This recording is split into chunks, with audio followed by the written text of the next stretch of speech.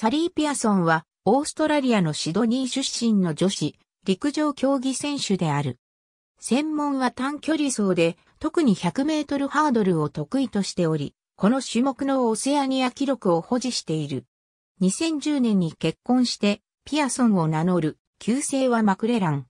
2008年に開催された北京オリンピックの100メートルハードルで銀メダルを獲得。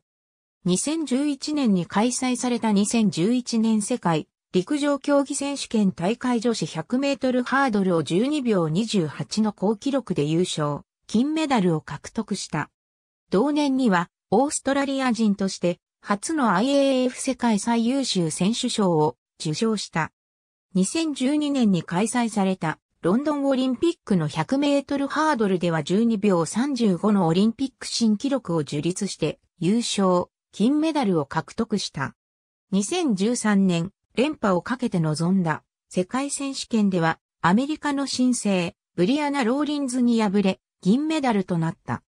2014年の世界室内選手権でもアメリカのニア・アリに敗北して銀メダルとなったが、ピアソンはオーストラリア放送協会の取材に対し、ニアの勝利を称賛するコメントを寄せた。